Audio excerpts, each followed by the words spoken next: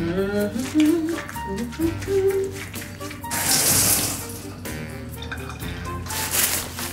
blir lite shampoo kvar men känns bra.